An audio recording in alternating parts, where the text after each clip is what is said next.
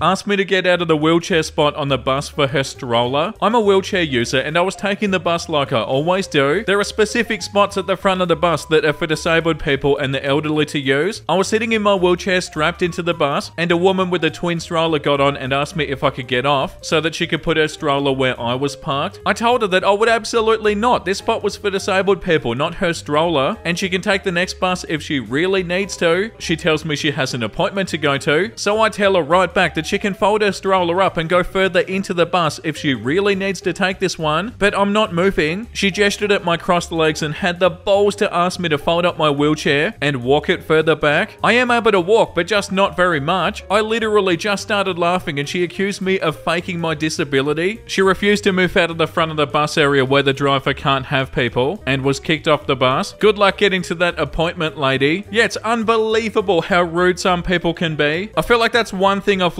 from reading these episodes. Like, people can be so awful, and it's actually hard to believe. And also, accusing you of faking your disability? Why? Yeah, the bloody audacity. The next one is called My Mum has claimed a spare room in our house as her room. She doesn't actually stay here much, but I freaking hate it. We've always had this weird power struggle over my home and her staying there. I really don't think she's trying to be cute, but trying to establish her power over me by stomping my boundaries. She's only stayed over a couple of times. We don't live in the same city, and I've corrected her each time that she refers to it as hers. I say, it's not your room, it's the guest room. I kinda thought that we were past this song and dance, as the previous to last time she stayed, she didn't say it, so I let my guard down stupidly. Then the latest time she stayed over, as I was carrying her things into the room for the night, she quickly mutters, It is my room, isn't it? Nobody else has stayed in here. It caught me by surprise, so I didn't correct it this time, and besides me and my husband, it is technically true. But that doesn't mean she has ownership over it either. And then just yesterday, she asked if she could stay over later this week. As I'm checking my calendar, she slips in a my room phrase, so I corrected her. It's not your room, it's a guest room. To which she stuck out her bottom lip in a pout and whines, It is my room. I start to repeat myself, and she just talked over me before I could even finish about, Did you know where your roaster is? The one that I got for you, blah, blah, blah. Yes, I do know where the roaster is. It's in the closet of the guest room. So now I interrupt her and demand, Why were you in that closet? And she proudly boasts, I was snooping. I actually don't really care that she went in there, but the way that she proudly boasted about it really rubbed me the wrong way. And given the timing of it, it felt a lot like she was trying to hold more power over me when I was trying to establish my own boundaries. Yeah, that's definitely what's going on. I will absolutely be telling her on no uncertain terms. Will she be calling it her room again? If she does, it'll be the last time she stays in it, but I just wanted to rant about it. Oh, that's so frustrating. Yeah, you 100% need to turn this guest room into something else. Like make it a home office or something. You know, like completely take it away as a guest room. And oh, sorry, mum, it's not actually your room, is it? God, that's so frustrating, and I hope it does get better. But you're 100% right, OP. They're stepping all over your boundaries and they're trying to show some of their power. But guess what? It's your house. They don't have any. Even reading these is so annoying, let alone being in that situation. The next one is called Entitled Family Harasses Me After My Boyfriend Knocks Brother in law on the Ground. So, this story happened a week ago. My sister was in town to visit with her husband and 11 year old son. My boyfriend isn't a huge fan of my sister's husband. My brother in law is, as my boyfriend would describe, tacticool. Basically, he's really into military stuff, even though he never was in the military. While my boyfriend was a US Marine for five years, when they met, my brother in law tried to act all buddy buddy and even said, quote unquote, these people don't understand warriors like us.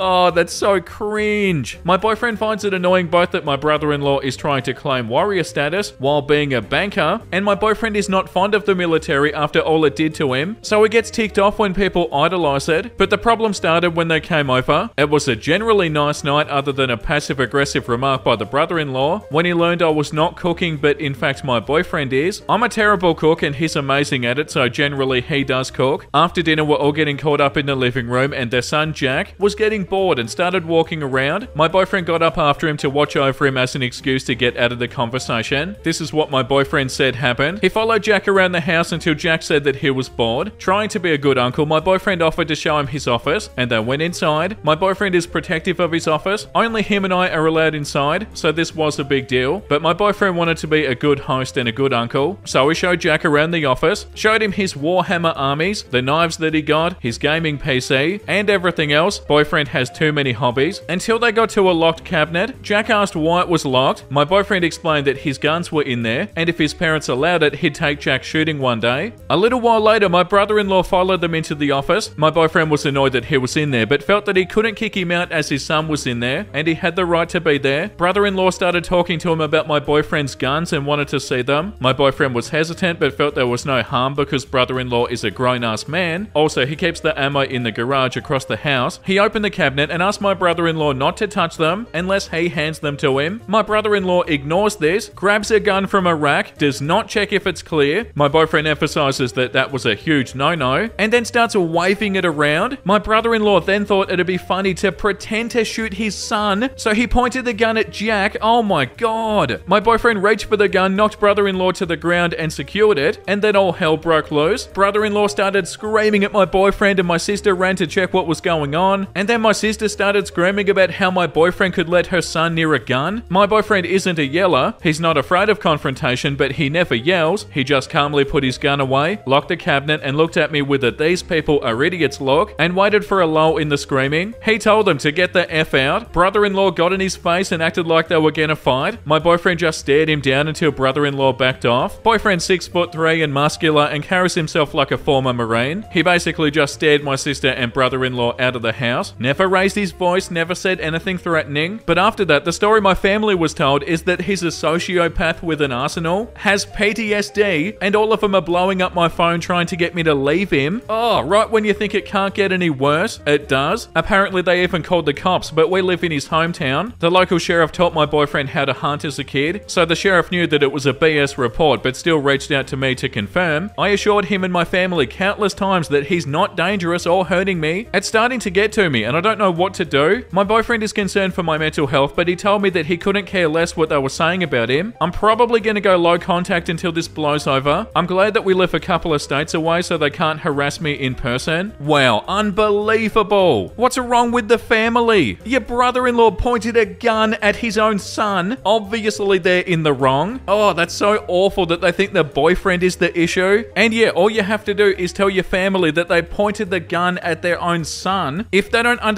when you say that, that's their issue. Yeah, that's so wild. I can't believe the stuff that we read. And with that being said, let's read the next one. My mum is insistent that I have a C section so that my dad can schedule their visit for the birth of my daughter. I don't know where to begin. I just need a place to vent. I, 31 female, am due to have my first baby in just over five weeks' time. My pregnancy was a surprise and it has been a difficult eight months thus far. Although low risk, I have experienced every symptom you can imagine, from intense morning sickness to migraines and carpal tunnel. I've also faced some pretty intense discrimination at work despite maintaining a high rate of performance during the year. All of this to say it's been a rough year. I've had little support from my family this year, and their nonsense has seemingly known no bounds. Since around May, they've been asking my partner and I to make the 10 hour drive interstate for Christmas so that we could spend it with them. This would be fine, but my doctor has repeatedly told me not to do this, as I'll be 36 weeks at that point and prone to blood clots. Despite this, they've continued to pester my partner and I about it. At one point, they proposed coming to us for Christmas, but then swiftly shut down their own idea when they immediately realized it would be an inconvenience to them. Recently, my dad was diagnosed with some health problems of his own, which he's been told is completely treatable with surgery and some medication. Regardless, I've called every other day to check up on him and see how he's going. In the last few weeks, my mum has started telling me how awful birth was for her and every other woman on both sides of my family. I kid you not, every time she calls, she encourages me to plan a C section and drop some new detail about a relative who had a traumatic birth experience. I have told her that her comments are unhelpful, and she's known for months that I don't want a C section if I can help it. She constantly says things like, if I had my time again, I'd plan a C section, as if it's an easier option. I wondered why she started down this path until she started making comments about dad's treatment plan and appointments, such as, we might be able to make it out to see you for a few days in January, but dad might have to go to an appointment on the 18th and then again on the 31st, and then after that we can't visit for a while because dad might need a surgery, I snapped and I told her I would not plan and I could not plan the birth of my child around their schedule and that they shouldn't bother coming. They haven't even asked my partner or I if we even want extended family present directly after the birth, and we don't. I was so scared about the birth and I was starting to feel somewhat comfortable with the idea of it all. When my mum started making these comments, every time I've told her that I'm upset about the comments or their lack of normal healthy support, my mum has told me that I'm just hormonal and that everybody else has their own thing going on. I'm so sick of their crap and I'm ready to cut them off for some time. I feel like they've made the birth of my little girl all about them. Yeah, definitely seems like it. They've compared the potential surgery that my dad might need to my birth, talking about catheters and IV drips like I won't need similar, particularly if I go down the C section route. When they did come to visit earlier in the year, they made comments about what I was eating. I was 24 weeks pregnant at that point. One of my unhealthy options, as they said, were a few chocolates after dinner. I don't even know what to say or do. All of this has made me reflect on my childhood, and I can't help but feel sad about that too. I've spent the last few weeks just crying about it, and I'm so tired of venting about it to my partner. Thank you for reading if you've come this far. I just needed to vent. Oh, that's so sad, and I'm so sorry, OP. The top comment says it as well, and a lot of comments say it, but it does definitely sound like you should have the baby without telling them, and then tell them a couple of days after the baby's born. Like, yeah, you've tried to get them to understand, and by the way, you're not just being hormonal, that's only your mum trying to excuse her behavior and trying to shift the blame onto you. But yeah, it doesn't sound like the family should have any part in this birth. By the sounds of it, they're only going to make it harder. Oh, that's such a crappy situation. I'm sorry to hear that, OP, and I hope it does go well. Oh, the next one is an update to the post with the brother in law and the gun. Update Entitled family harasses me after boyfriend knocks brother in law to the ground. I thought it would be best to make a new post. Thank you all for all your supportive comments, and I'm sorry that I haven't responded, but there's some stuff that's happened. I followed your advice and I contacted the family members I'm closest with, and I told our side of the story to mixed responses. Some people believed us, but unfortunately, most either didn't believe us or they did but still pushed me to leave my boyfriend. Apparently, the thought that a man could disarm and knock a person to the ground is so violent that only a PTSD ridden psychopath could commit such an act. One surprising good thing that came out of this is that apparently the sheriff, who was an old friend of my boyfriend and his father, reached out to boyfriend's father and his family started coming in for support. It was a bridge that needed to be built, albeit in a weird way. I never dug much into it, but boyfriend was estranged from his family. Basically, he's the son of some local powerful man. His mother, who died a while ago, was physically and mentally abusive, and his father didn't know because he was busy at work. Boyfriend was expected to go to an Ivy League college and be some politician or something. Boyfriend believed that that would be selling his soul, so he ran off and joined the Marines. He just needed to run away from that life, and it just festered for years. Neither party brave enough to reach out until this incident. His entire family reached out to offer support. His brother and his wife came over a few nights ago to meet me and have dinner. His father put us in contact with his lawyer in case they tried again, and we're planning a dinner with the whole family. Boyfriend seems happy, and honestly, both me and him feel like we refound a family. My family has been thoroughly unsupportive of me, and this isn't the first time. After telling my side, I went no contact with them, and I hope that's the end of it. Until my sister, my other one, not the mother of Jack, called me this morning and told me she was visiting and she's already in the state and wants to know her address. Completely blindsided me, but I guess it could be an opportunity to clear the air. But I know for damn sure if I'm meeting her, I'm bringing my boyfriend and a voice recorder. I read way too many stories on here to not take precautions. I'll update after the meeting. All I can do is hope it doesn't make anything worse. Yeah, like the top comment says. So what, only a deranged nutter with PTSD could disarm a completely untrained lunatic, acting like a moron? A trained marine reacting appropriately to a situation couldn't, but a nutter could? What the hell do your family think marines are trained to do? Tickle fish and paddle in kiddie pools? Christ. I'm glad things are looking good on the other side. Good luck with your sister. You never know, she might not be a complete idiot. Yeah, what the hell's wrong with the family? Oh, that's so awful. And what do they have against the boyfriend? Cause surely it's not just this. Like, surely this isn't the sole reason they want them to break up with them. Oh. And also the bloody audacity for them to even feel like they can say stuff like that. Yeah, they sound awful. The next one is called Entitled Parents Don't Change a Kid's Diaper on a Cross Country Flight. The parent sitting in front of us had a toddler whose diaper started to smell about halfway through the five and a half hour flight. They didn't change it, so for hours we were forced to smell this kid's diaper. What's so frustrating is that it isn't good for the kid either. I know that changing tables on planes aren't great, but we shouldn't all have to smell your kid's diaper for hours. Yeah, definitely not. So what are the parents doing in a situation like this? Are they just lazy? Like what's their excuse? Surely they don't want to smell it either. And yeah, that's right. Imagine it from the kid's perspective.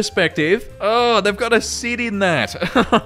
Ew. That's so frustrating. Oh, our child has soiled themselves. Let's make sure it's an issue for every single other person on the plane. Let's definitely not sort this out. We'll all just sit here and smell it the entire time. The next one is called Entitled Mother Leaves Her Children in the Kids section of a department store. Okay, we're going back in time to 2004 when I worked at a chain department store. Let's just call it La Bonbon. Bon. Haha. I was 22 years old at the time and I floated between the departments. That evening I was covering the kids department by myself, facing and folding and fixing the tables, checking the changing rooms, etc. A woman and three small children, let's say three, five, and seven if I had to guess, were at a table pulling out shirts to hold them up and then tossing them back in crumpled heaps, forming a pile. Her kids joined in, making a mess as well. Ugh. I'd have to straighten and then fix the entire table. The woman and her kids move along. I fix the table, which takes some time, before returning to the counter. I hear kids laughing and shrieking. Close to the counter in the kids section, we had a little round sitting area facing a wall of TVs. Various kid friendly shows played on low volume on each screen. It was a chaotic scene to behold. The three kids were there jumping and climbing all over the short benches. No mother inside. I do a quick search and I can't find her. I get my manager next. LP is pulled in. We talk to the kids who were super hyper to get their mother's name. We call her over the loudspeaker and we wait, and no one comes. Our LP contacts mall security. They call her over the loudspeaker. Ten minutes later, she comes storming in furious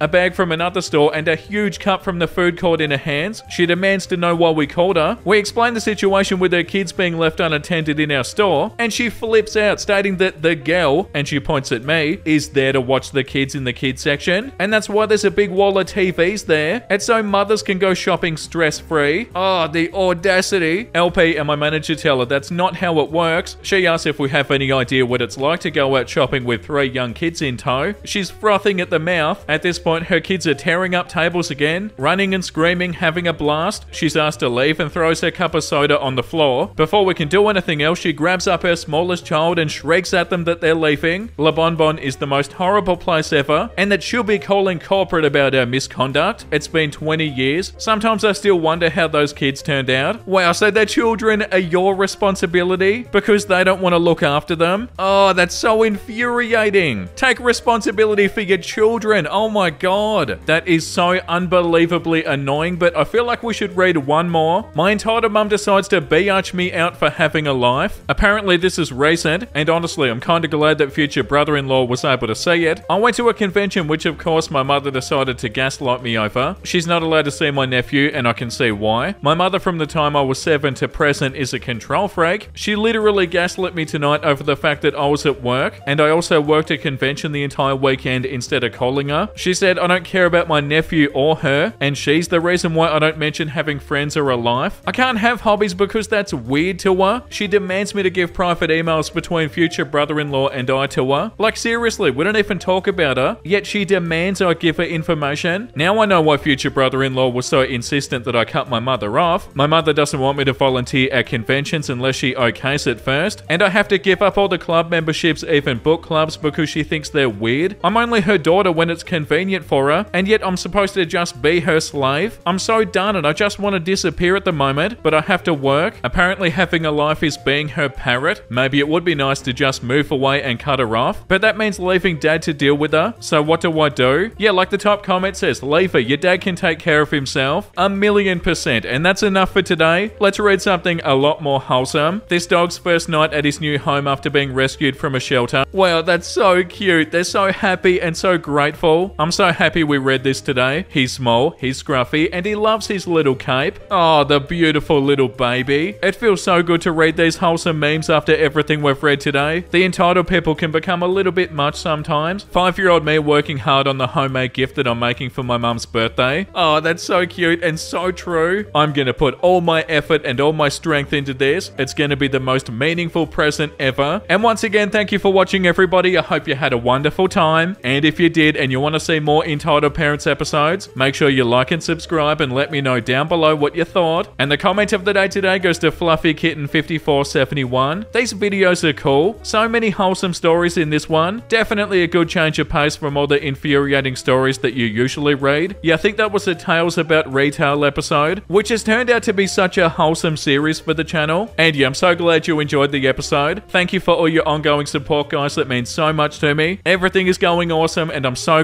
grateful to have you here. And with that being said, make sure you look after yourself and make sure you have a beautiful, amazing rest of your day. And you know what I'm about to say because I say it every single day. Bye!